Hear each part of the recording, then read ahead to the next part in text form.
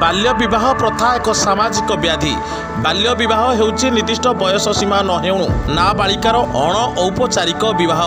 ଏଥିରେ ଝିଅର ଶରୀର ଉପରେ ଭୟଙ୍କର ପ୍ରଭାବ ପଡ଼ିଥାଏ।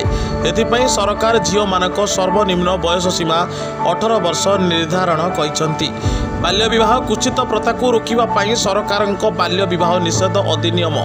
ଦୁଇ ହଜାର ଛଅ ଲାଗୁ କରାଯାଇଥିବା ବେଳେ ନାବାଳିକାକୁ ବାହା କରାଇଦେବାକୁ କିଛି ଅଶିକ୍ଷିତ ପରିବାରର ପ୍ରଚେଷ୍ଟା ଭଳି ଏକ ଆଶ୍ଚର୍ଯ୍ୟଜନକ ଓ ନିନ୍ଦନୀୟ ଘଟଣା ଦେଖିବାକୁ ମିଳିଛି।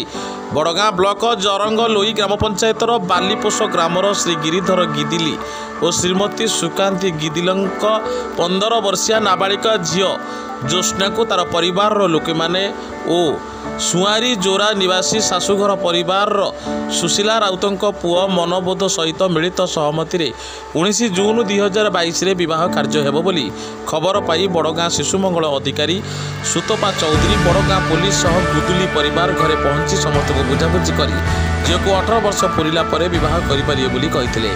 ଏଣୁ ବିବାହ କାର୍ଯ୍ୟକୁ ବନ୍ଦ କରାଇ ନାବାଳିକା ଝିଅକୁ ରାଉରକେଲା ସ୍ଥିତ ଶିଶୁ ସୁରକ୍ଷା ଗୃହ ଦିଶାକୁ ହସ୍ତାନ୍ତର କରିଥିଲେ। ନାବାଳିକାକୁ ଉଦ୍ଧାର କରିବା ସମୟରେ ଶିଶୁ ମଙ୍ଗଳ ଅଧିକାରୀ ପଞ୍ଚାୟତ କାର୍ଯ୍ୟନିର୍ବାହୀ ଅଧିକାରୀ ଶିଶୁ ଅନୁକୂଳ ଯୋଜନାରେ ବ୍ଲକ ସଂଯୋଜକ ବଡ଼ଗାଁ ପୋଲିସ ଅଧିକାରୀ ସ୍ଥାନୀୟ ସାମାଜିକ କର୍ମୀ ଓ ସ୍ଥାନୀୟ ଗ୍ରାମବାସୀ ଉପସ୍ଥିତ ଥିଲେ। ସୁନ୍ଦରଗଡ଼ ଜିଲ୍ଲାରୁ ଗଙ୍ଗାଧର ସାଙ୍ଗ ରିପୋର୍ଟ ସାଇ ସତ୍ୟ ନ୍ୟୁଜ୍।